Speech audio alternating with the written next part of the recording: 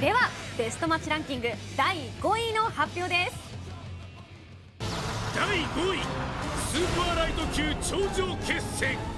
ダニー・ガルシア対マティセ Introducing Lucas Martin, the machine Matisse. WBC 暫定チャンピオンルーカス・マッツェです Introducing Danny Swift Garcia. WBA、WBC 世界スーパーライト級のチャンピオンダニー・ガルシアですさあ実 our 力伯 referee 仲 in 好試 charge 合 of 必至 now ready to give instructions, Tony Weeks. Escúcheme, cuídate, listos, vámonos.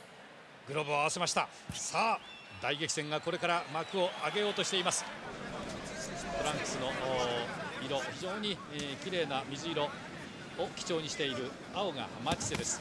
おお踏み込んできました。マチセおっとカウンター取ろうとしました。皆さんやっぱり早い攻防になりそうですね。一瞬も目を離せないですね。思わず画面に吸い付けられます。見入ってしまいます。だから多分体幹の力だと思うんですけれど何でもないような打ち方してるパンチがものすごい力あるんですね。まああのええ。マジセの場合は力んでないんですね。おうとはい。力んでなくてスムーズなパンチなんですけどやっぱ力あるんですね。ボクシングは性格うんよく出ますからね、はいはい。おうとっとっとっと。内か左を使いました。アルゼンチンの倒し屋が突っ込んでいきます。このマチセってもですね、パンチに目が行くんですけど、すごく上手い選手ですね。なる。ほどね。マティセもやっぱりそれだけのうまさ。ノーアウト右を打たか左返してきました。ガルシア。いやーガルシアのパンチもありますよ。ありますね。今ラウンドですねガルシア上、えー上要するに相手の顔面を打っておいておうおうとっとっとっと。軽くしてもボディにアッパー入るんですね。はいそうですね。それがやっぱり威力ありますね。やっぱりこのスーパーマッチでもボディが大事。特にまああのーどんなボディ強くてもですね、はい。後半まで打たれ続けるとスタミナ消耗しますから。そうですね。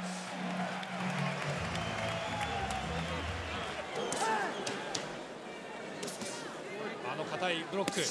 おー右ストレートを打ち込んできました。マッチセこういうねスタスタ何でもない空間。時間的なその間合いに、はいジャブワンツーこうして打っとくっていうと、ね、採点に大きいんですよラスベガスで。ねおお押し込んできましたね当たった右へおうおうと一発おまけを打ち込んで離れました第5ラウンド終了です出てきます出てきますマシーンというニックネームまあブルドーザーに例えてもいいかもしれません右が左ポンポンと当てますおお顔面が一瞬おろしになりました。マッチセ。行っています。やっぱりあのー普段のマッチセよりは連続攻撃ができてないところあるんですね、はい。やっぱりあの返されてますから。あその返すパンチ要するにガルシアの返すパンチに力を感じてるんですよね。れてきましたね。ハンサンボーイのマチセ。右の目のあたり。あ左かと相打ちか。まあ浅いです。あれやっぱりん当然ながらそのまあ左左食ったということですよね。あこれです。この後左右いいパンチですね。ナイスパンチ。連続してきます。入ってきます。マッチ。セあの今焦ってますよ。えええさんかなりのマチセにとったらトラブルですね。右が打てないっていうことはかなり大きいですね。ええ。このじゃあ止まっている相手が鈍っている間にマチセペースを作ってしまいたいところでしょう、まあ、あのこうやって攻め始めるとまたマッチセはいつもの感覚が戻りますからね。ね。ええここで今。ガルシアひっくり返ったダウンだ。崩れ落ちてきました。懸命の頑張りを見せていました。今のはうまかったですね。この試合ノックアウトで決めるかどうかわからないわけですけど12回まで来るとは私はあ思わなかったですね。おお追いかける？マチセ時間がありません。30秒切りました。ノー1回。残り可能性は20秒。15秒ガルシアすごいですねまだリズムありますねますね左ガルシアのパンチもう一回左抜け出します左おお最後の打ち合いもう少し早くガルシアと勝負することダッシュしますマッチどうとガルシア両腕を上げましたガルシア試合終了ですあースタートやっぱりマッチがどんどん攻めに行ってそこをガルシアが打ち返しながら止めたっていうのが大きかったですね、はい Scores about 115 to 111. 115対 Judges Robert 111 Hoyle and Jurgen Longos both scored about あとの二人。114 to 112. 114 All 対 three in 112 favor of the winner. 3対0 And still ダニー・ガルシア勝ちました3対0です champion of the world, Danny Swift Garcia. 僅差だったわけです。ものすごい接戦だったわけです。それを制しました。ダニー・ガルシア。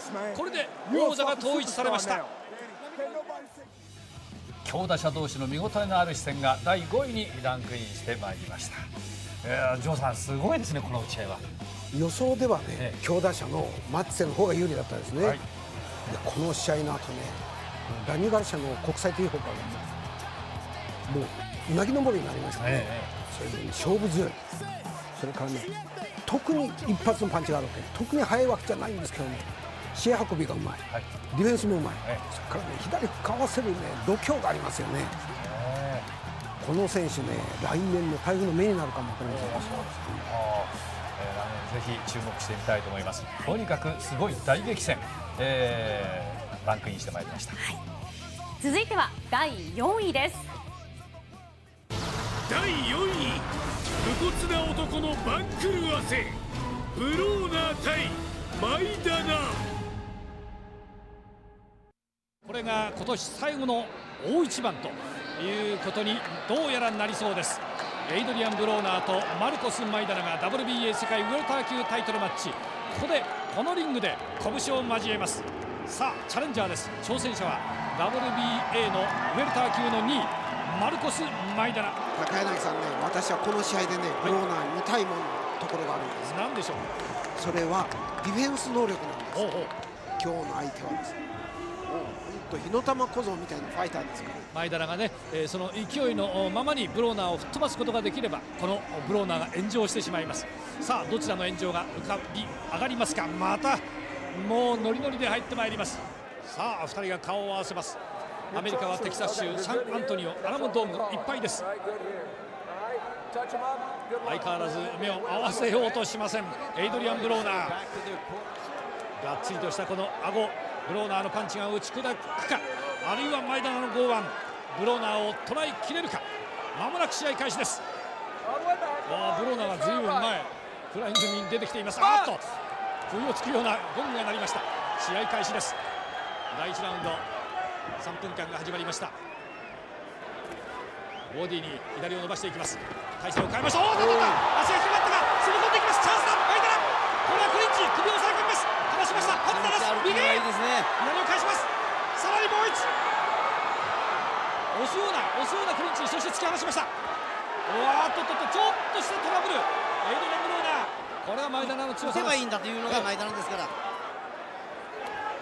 パカッとこすり上げてきます。ボディからそして顎へ。右どうだ？これはどうだ？思い切り振り込んでいきます。このこのかわし方でいいんでしょうか？いいんでしょうか？まあどうでしょうかね。まあフロイド・メイウェザーの場合、瞬間的に、えー左のガードでも上げますけどね、はいはい。前田の10対9ですね。先制攻撃ですね。何が起こるかわからない。それが一段目ですよね。さあ第2ラウンドですブローナー1ラウンドを引きずるかあるいは違うブローナーが、えー披露されるのか。前田のやることは一緒です。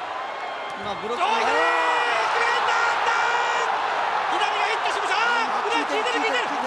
ナーがブローナーが足に来ています。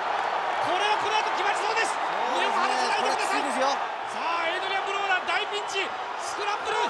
ブローナーがさあここら辺はもうかわしの一手逃げの一手左からあーっとっとガードガード上げました。遅まきながらガード上げていましたね相打ちを狙うか？いやー大ピンチですね。武骨なまでにマルコスが踏み込んでいきます。